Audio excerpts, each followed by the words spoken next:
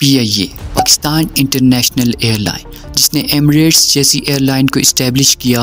वो Emirates airline जो आज दुनिया की एक टॉप एयरलाइन है, इसका सेटअप पीआईए ने किया। लेकिन आज यही पीआईए 600 अरब के नुकसान में आहर क्यों है?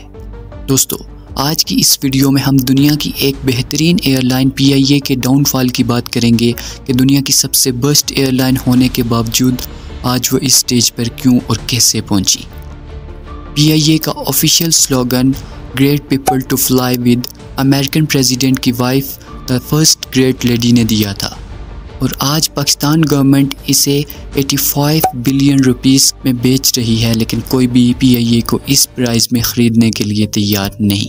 आज पीआईए पर 830 बिलियन रुपीस का कर्जा है।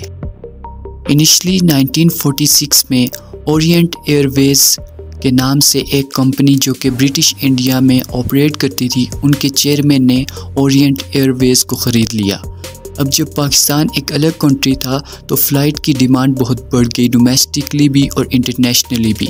1955 में गवर्नमेंट ऑफ़ पाकिस्तान ने ओरिएंट एयरवेज को ख़रीद लिया और इसका नाम चेंज करके पाकिस्तान इंटरनेशनल एयरलाइन रखा।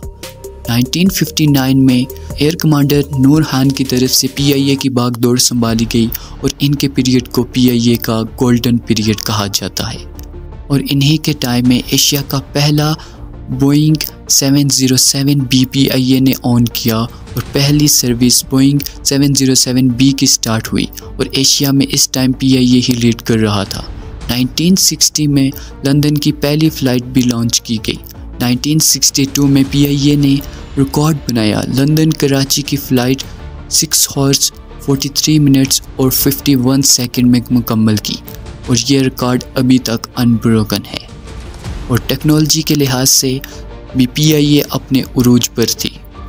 ये इसी पीआईए की बात हो रही है जो आज मलेशिया और इंडोनेशिया में लैंड करती है। फ्यूल के पैसे ना होने की वजह से ये कंट्रीज़ पीआईए की फ़्लाइट को रोक देते हैं। पीआईए के डाउनफॉल का आगाज़ नाइन्टीज़ से हुआ।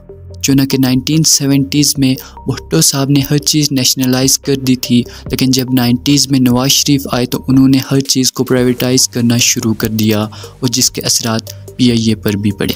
क्योंकि उन्होंने अलाउ कर दिया फॉरेन एयरलाइंस को फ्रीली ऑपरेट करने के लिए पाकिस्तान एयरबेस में।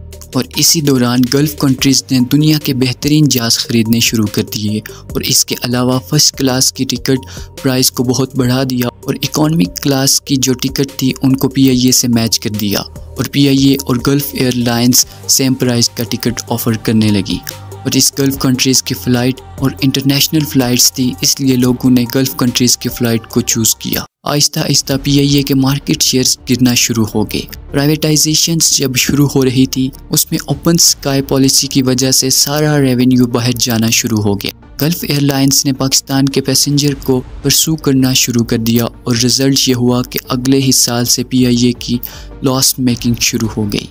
मिड एटीज़ तक एक साल में 10 अरब से ज़्यादा रेवेन्यू कमाने वाली पाकिस्तान एयरलाइन लॉस में चली गई। पीआईए का हाल भी स्टील मिल जैसा होना शुरू हो गया।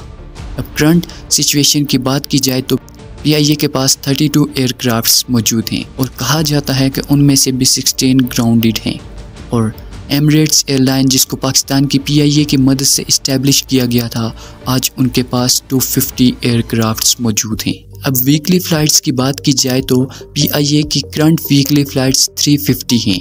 ये डोमेस्टिक और इंटरनेशनल मिला के 350 फ़्लाइट्स एक वीक में चलती हैं। और दूसरी तरफ़ एमरेट्स की 3000 फ़्लाइट्स वीकली चलती हैं। पी का टोटल स्टाफ 14,000 मेंबर्स पर मुश्तमिल है। यदि पाकिस्तान इंटरनेशनल एयरलाइन के डाउनफॉल की किस तरह दुनिया की एक बेहतरीन एयरलाइन आज बिल्कुल डाउनफॉल हो रही है। ब्लू वर्ल्ड सिटी इसे 10 अरब में ख़रीदने को तैयार है। मिलेंगे एक ऐसी इंफॉर्मेटिव वीडियो के साथ। तब तक के लिए दीजिए इजाज़त। अल्लाह निगेबान